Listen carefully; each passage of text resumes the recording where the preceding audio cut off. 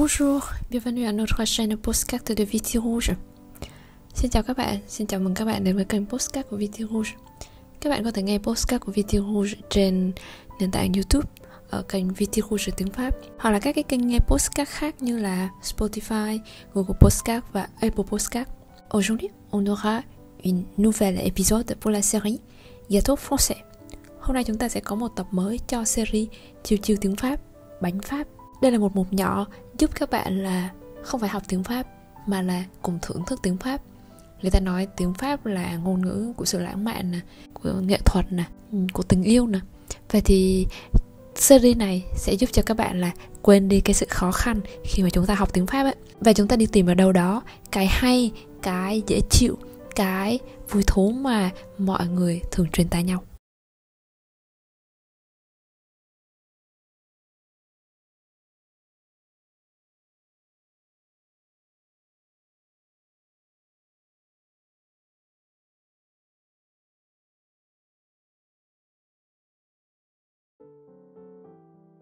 Alors, qu'est-ce qu'on va faire aujourd'hui? Euh, Je vous propose de faire une promenade à travers des rues, des petits passages, des petits passages et euh, des petits coins ou euh, à n'importe quel magasin ou à quelques endroits discrets à Paris. Cho các bạn đi một vòng. Tất nhiên là chúng ta sẽ đi dạo bằng cách là nhắm mắt lại và tưởng tượng. Nếu bên cạnh các bạn có một chút uh, bánh ngọt thì cũng có thể nhấm nháp một chút cà phê cũng có thể nhấm nháp. Hôm nay có cà phê sẽ là tuyệt nhất. Bởi vì chúng ta sẽ cùng đi một chuyến đi khám phá những cái ngóc ngách. Có thể là sẽ ít người biết hoặc cũng có thể là có ai đó biết rồi. Nhưng mà cùng đi qua và được một hướng dẫn viên cực kỳ đặc biệt dẫn dắt. Không phải là mình mình chỉ là cái người mà dịch lại giống như là phiên dịch lại khi mà các bạn nghe cái người hướng dẫn viên đó nói và có thể các bạn không hiểu thì mình sẽ truyền đạt lại thôi. Và hôm nay chúng ta sẽ có những cái hướng dẫn viên đặc biệt như vậy á đó là các nhà văn. Một là à, một đạo diễn người pháp à, một bộ phim. Vậy thì chúng ta sẽ có một vài đoạn trích từ một số những nhà văn khơi gợi cho người đọc trên khắp thế giới sự đẹp đẽ của paris hay là cái sự hào nhoáng của paris hay là cái sự ngon miệng của paris nữa và một bộ phim Pháp để nếu các bạn muốn cuối tuần này thay đổi không khí hay là tìm một chút lãng mạn cổ điển thì các bạn có thể tham khảo ở cuối postcard này. Qui sont les guides? Vậy thì hôm nay ai sẽ làm hướng dẫn viên cho chúng ta đây? Je vous propose deux monsieur, un parisien et un américain. Ils sont tous les écrivains, très talentueux, très connus dans le monde entier.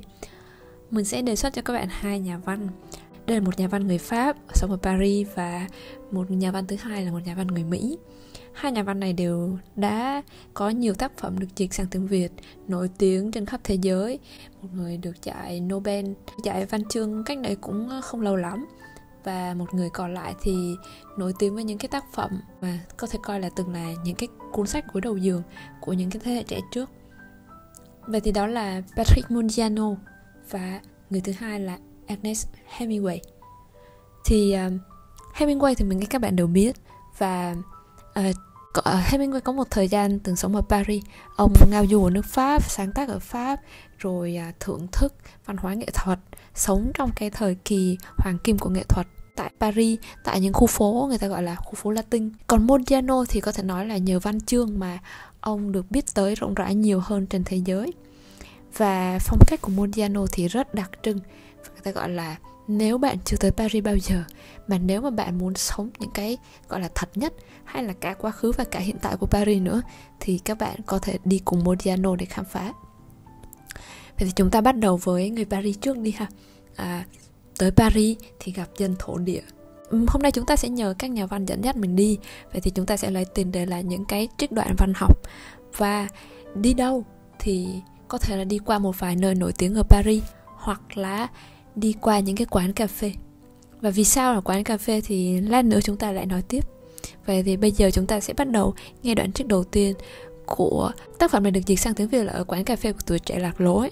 Và tên gốc tiếng Pháp của nó là Dans le café de la jeunesse perdue. Đoạn trích đầu tiên thì nó hơi buồn một chút, nhưng mà nó sẽ dắt các bạn đi qua một vài vùng văn hóa, như là Mexico rồi quay lại một vài địa điểm ở Paris và một cảm giác sững sờ. Khi chúng ta trao đảo giữa các cái khoảng không địa lý và những cái khoảng không trong thời gian.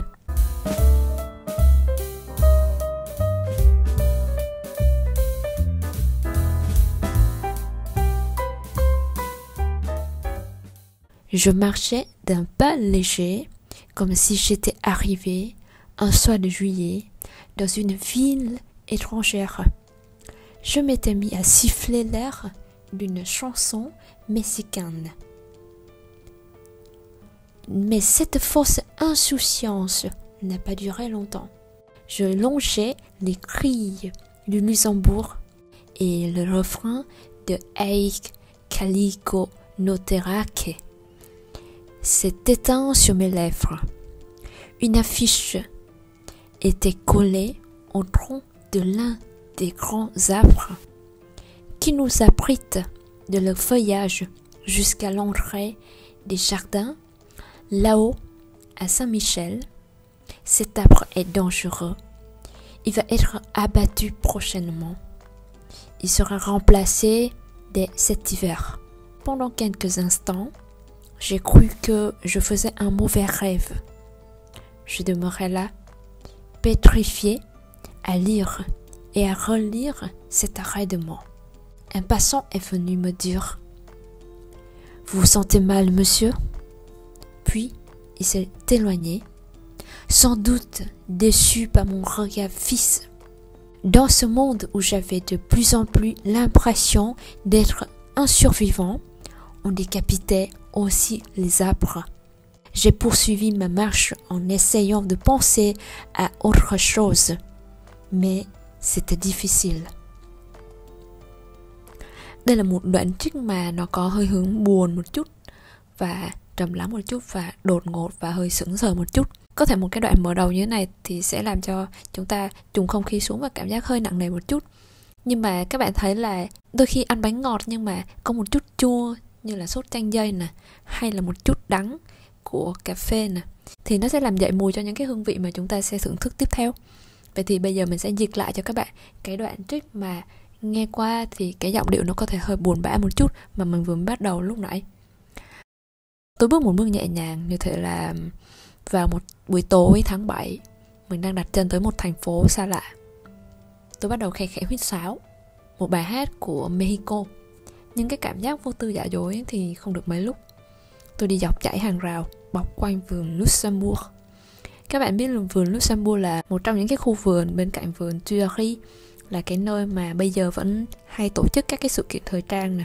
Là một cái nơi mà khi mà các bạn tới Paris đôi khi các bạn đi dạo à, quanh các cái địa danh hay là các bạn la cà vào một cái hiệu sách cũ rồi có thể các bạn sẽ đi ra vườn Luxembourg ngồi ngắm mặt trời lặn hay là ngồi nhâm nhi một tách cà phê. Thì tôi bắt đầu đi dọc quanh cái dãy hàng rào quanh khu vườn Luxembourg. Và tôi ngừng mất máy cái khúc điệp khúc của bài hát Ai Calico Note đây là tên của một bài hát bằng tiếng Tây Ban Nha, thế nên là khi mình đọc có vẻ chắc là nó cũng sẽ không được chính xác lắm.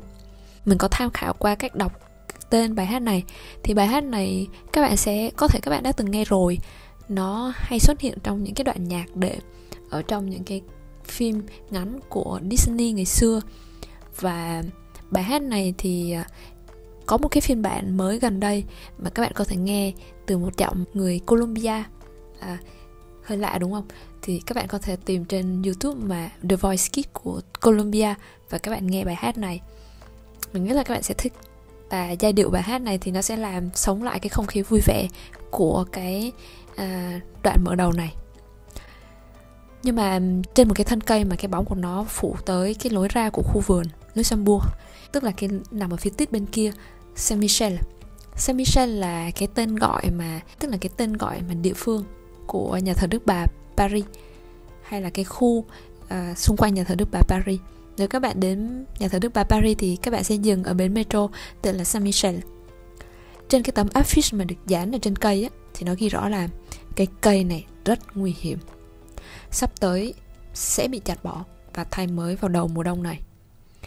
Trong thoáng chốc tôi thấy mình như gặp ác mộng tôi đứng lì ở đó, đông cứng người.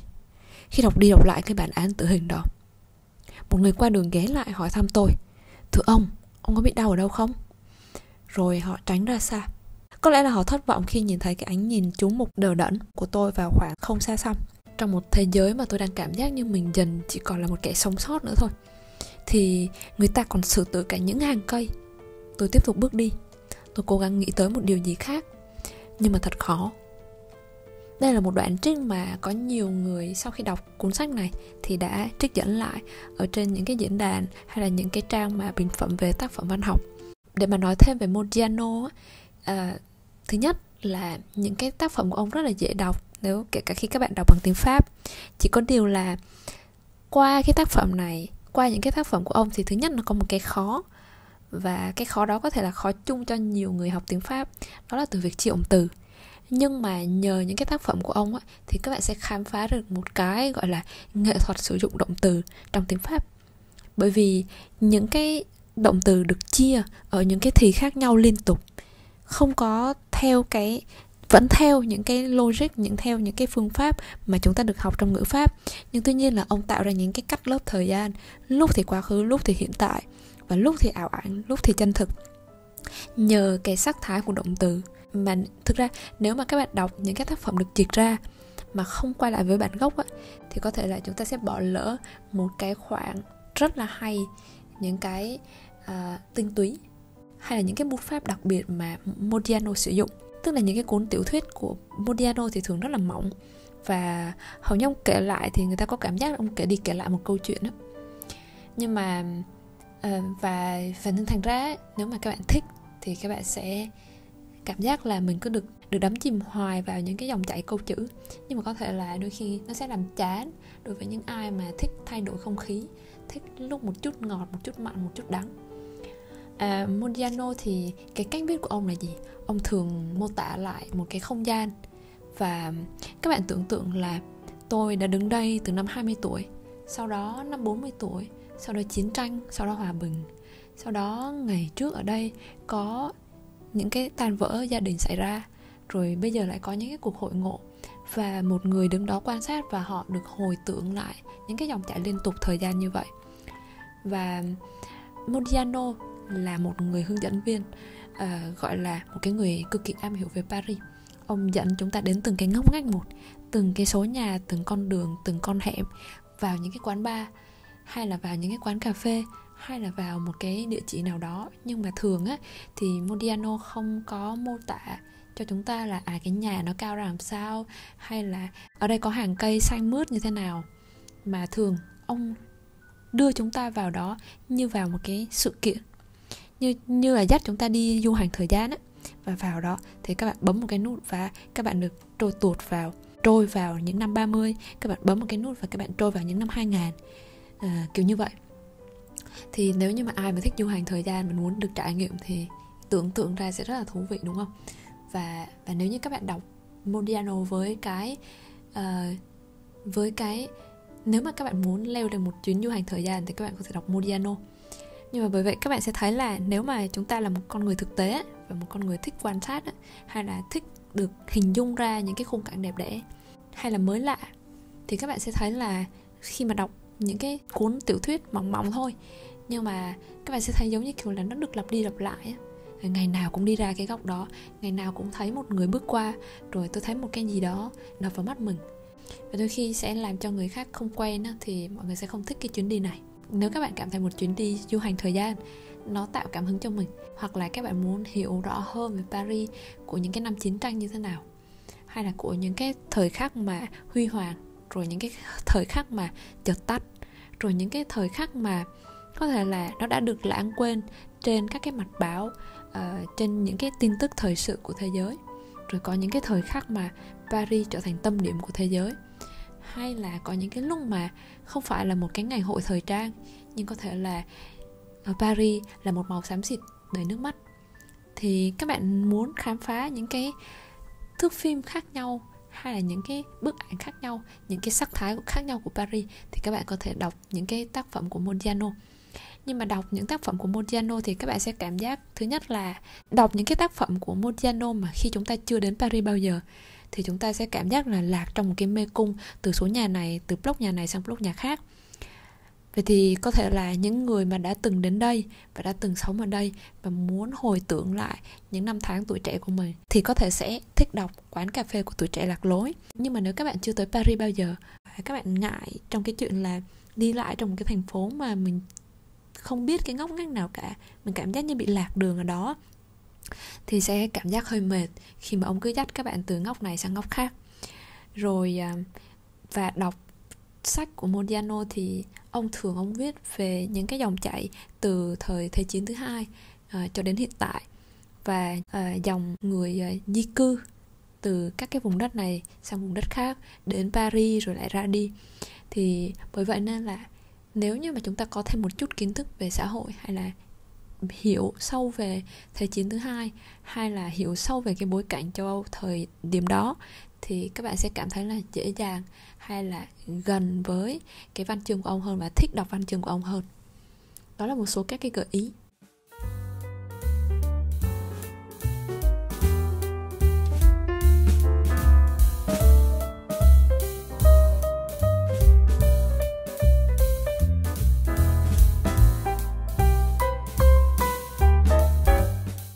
Nếu như mà sau một lúc rồi các bạn thích là bây giờ chúng ta muốn đổi vị rồi, không đắng nữa, không chua nữa hay bây giờ ăn một cái gì đó ngọt ngọt đi, tươi vui một chút, thì chúng ta sẽ bước tới hội hè miên man ồ, và ở đây các bạn sẽ được ăn, được thưởng thức một cái mùi thơm hay những cái hương vị mà đặc trưng nhất của nước pháp. Xem thử là đến một người mỹ, một nhà văn mỹ sẽ viết về paris như thế nào thì mình nghĩ là các bạn đã từng xem Midnight Paris rồi. Thì cái cách mà Hemingway dẫn dắt đưa con người ta tới Paris cũng giống như là một hướng dẫn viên đầy hào hứng. Và à nếu bạn chưa biết gì, tôi sẽ dẫn bạn đi những cái nơi đẹp đẽ nhất của thành phố này. Những cái góc cảnh thi vị. Và chúng ta sẽ cùng khám phá thử xem nó như thế nào nhé. Mình sẽ đọc cho các bạn đoạn trích. Đoạn trích này nói về một cái quán cà phê mà mà nhà văn Hemingway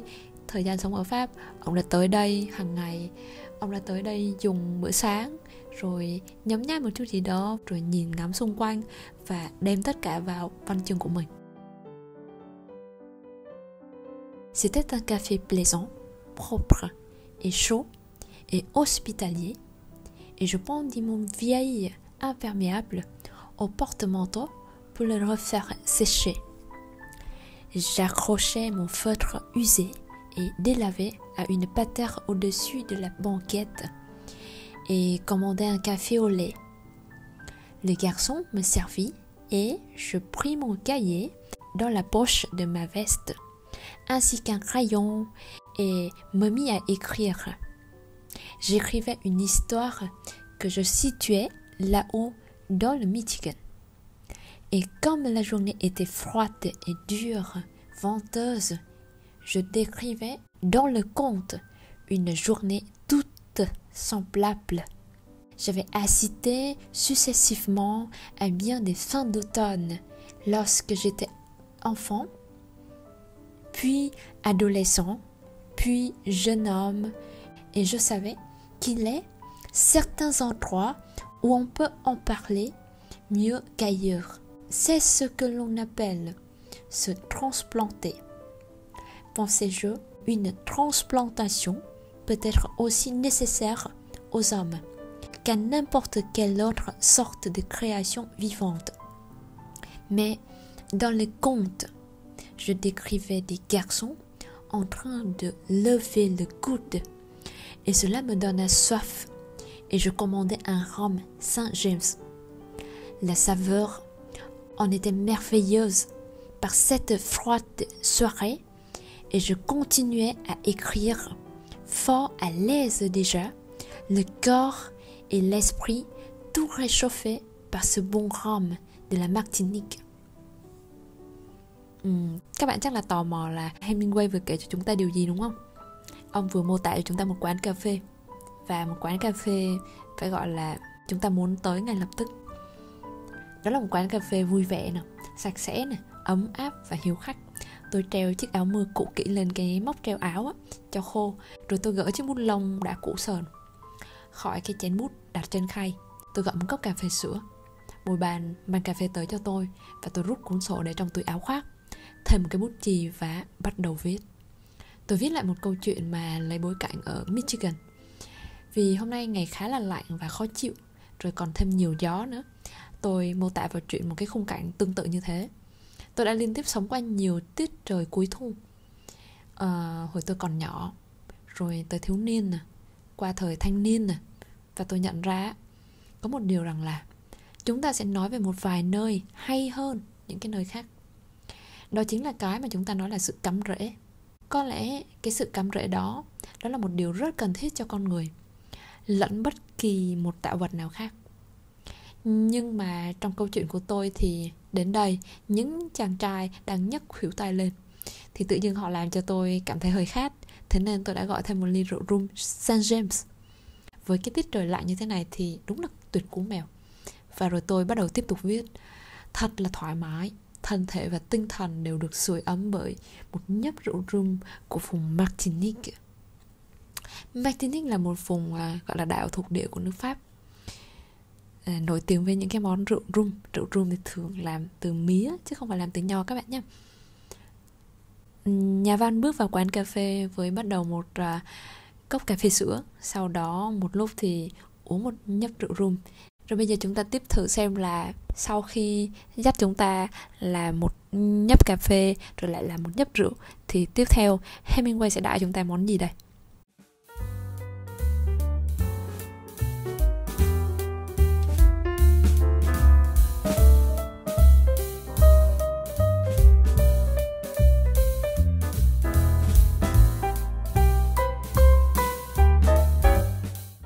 Pendant que je mangeais mes huîtres au fort goût de marais, c'est une légère saveur métallique que le vin blanc emportait, ne laissant que l'odeur de la mer et une savoureuse sensation sur la langue.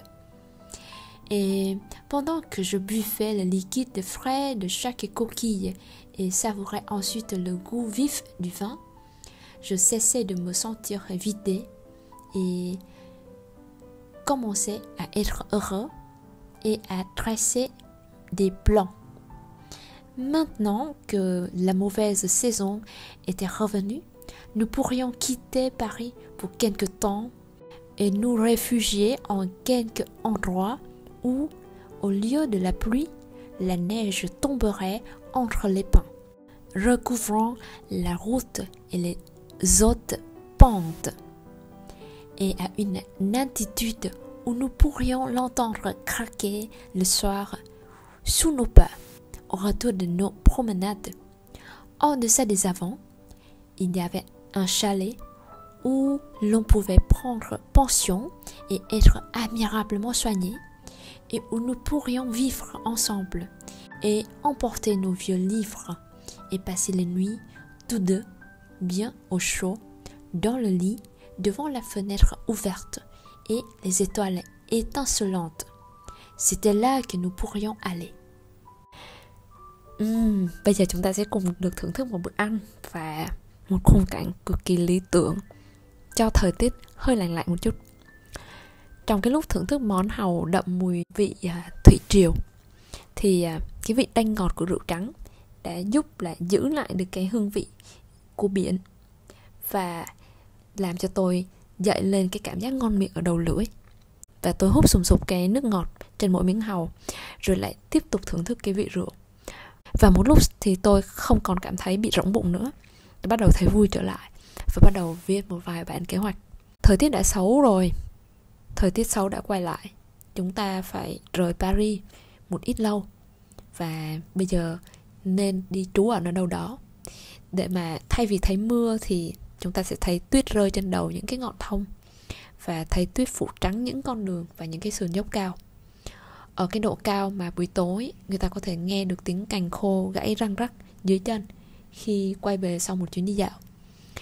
Trong mùa vọng mùa vọng tức là những cái khoảng thời gian hai ba tuần trước ngày Giáng sinh, theo người phương Tây và theo những người theo đạo Thiên Chúa. Nếu có một chiếc nhà gỗ ở trong mùa vọng để an trú và được chăm sóc tận tình hết mực nếu được ở cùng nhau, rồi mang cho nhau vài cuốn sách cũ, rồi rủ rỉ cùng nhau vài đêm, thoải mái và ấm áp. Cùng nằm trên giường, rồi ngắm sao sáng qua cửa sổ. Chắc là nghe xong thì ai cũng muốn tới một nơi như thế. Hemingway sẽ làm cho chúng ta có cảm giác là mọi thứ, cuộc đời thật tươi đẹp, đúng là hội hè miên man thật. Đâu đó ở trong cái cuốn sách này, trong mỗi chương đều có một chút ngon lành một chút hấp dẫn. Phải cảm ơn Hemingway và phải cảm ơn những cái người làm nghệ thuật đã làm cho Paris trở thành một cái thành phố mà hấp dẫn vô chừng đối với rất nhiều người trên thế giới.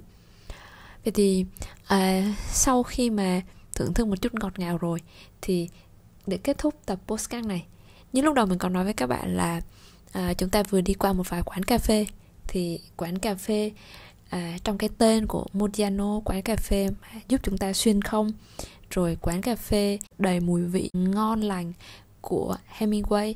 Rồi bây giờ chúng ta đến một quán cà phê mà quán cà phê này rất là nổi tiếng. Quán cà phê này có rất nhiều nhà văn đã từng đến đây, ngồi một cái góc nào đó rồi từng trao đổi với nhau ở cái thời đại mà chưa có internet, chưa có máy tính, chưa có những cái cuộc gọi từ xa. Thì mọi người tới đây, mọi người ghi chép, mọi người trao đổi và có những cái tư tưởng mới đã ra đời, có những cái tác phẩm bất hủ đã ra đời. Picasso cũng sống ở Paris, rồi rất nhiều những cái tên tuổi làm nghệ thuật khác, làm cho Paris trở thành một cái nôi của nghệ thuật. Mà vì sao người ta lại yêu thích Paris như vậy nhỉ? Thì có thể là phải chờ một ngày nào đó các bạn tới đây, các bạn ngồi thử nhâm nhi cà phê, hay là bây giờ chúng ta thử nghe bài hát Les Vins de Vienne này. Thì trong bài hát cũng có nhắc tới Café de Flore. Hay là sau đó các bạn sẽ xem bộ phim Phong Phong này. Đây là một bộ phim của Alexandre Jardin và trong đó có một nữ minh tinh rất nổi tiếng của nước Pháp. Trong những cái giai đoạn à, hoàng kim của lịch sử điện ảnh Pháp à, một bộ phim làm say mê những cái người trẻ ở những cái năm 80 90 à, bộ phim này mình nghĩ là nó có một cái phiên bản hiện đại. Tất nhiên là nó sẽ không phải là hai bộ phim sao chép của nhau nhưng mà nó có cái hơi hướng na ná như vậy. Tức là cũng nói về những điệu nhảy. Ở đây là điệu nhảy vans à, đến từ thành viên thủ đô của nước áo. À, đó là bộ phim uh, La La Land. Và bây giờ chúng ta có Phong Phong.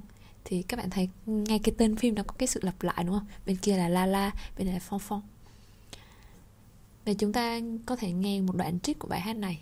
Rồi sau đó nếu các bạn thích thì các bạn sẽ nghe hết bài hát. Nghe hát thật từ uh, uh, ca sĩ.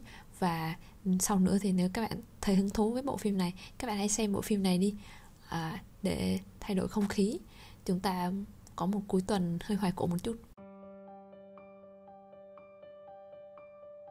Du pont de supplice tombent les actrices, et dans les yeux chromés, le destin s'est brouillé.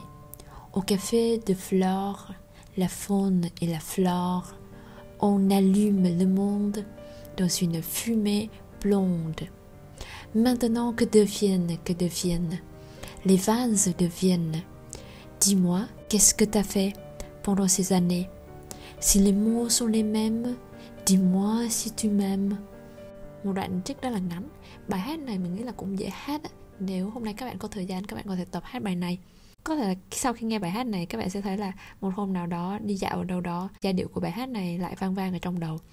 Và thực sự mình nhớ rằng là lần đầu tiên mình nghe được bài hát này đó là một lần đi vào một cái siêu thị và mình không ngờ rằng là ở Việt Nam, ở trong siêu thị Việt Nam lại phát nhạc Pháp rất lâu rồi. Và lúc đó thì mình chưa hề biết tới cái bài hát này. Và về nhà thì mình cố, mình nhớ một cái câu nào đó trong bài hát, Au Café de Flore là cái câu mà dễ nhớ nhất, dễ nghe nhất. Và sau đó mình đã tìm ra bài hát này. Về sau thì mình biết tới bộ phim. Và bây giờ thì mình giới thiệu với các bạn. Đoạn trích này thì nó có vẻ hơi buồn một chút nhạc pháp ngày xưa những cái bài hát trữ tình những cái bài hát mà đã làm say mê một cái thế hệ trẻ đầy giai điệu mà nó có một chút gì đó hơi buồn. Và nhiều khi chúng ta thấy là nhạc vui ấy, thì chúng ta nghe một lần hai lần thôi nhưng mà nhạc buồn ấy đôi khi chúng ta cảm giác được thích được chìm đắm trong những cái giai điệu buồn buồn sâu lắng như thế. Và nó ở với người ta rất là lâu. Không biết là có ai ở đây vì nghe những cái bài hát như thế này mà muốn hát hay là muốn học tiếng Pháp hay không thì mình sẽ tạm kết tập postcard này ở đây bằng lời dịch của bài hát này và chúc các bạn là nếu các bạn, sau khi nghe postcard này các bạn đọc truyện thì chúc các bạn đọc truyện vui vẻ và nghe nhạc vui vẻ, hát ca và nếu xem phim thì chúc các bạn xem phim vui vẻ Merci de votre attention et à la prochaine fois. Xin cảm ơn các bạn đã theo dõi tập này và hẹn gặp lại các bạn trong các tập postcard tiếp theo trên kênh VT Rouge. Và bây giờ chúng ta sẽ kết thúc bằng lời dịch của đoạn trích trong Les Vans de Vienne, điệu Vans thành viên nước Áo.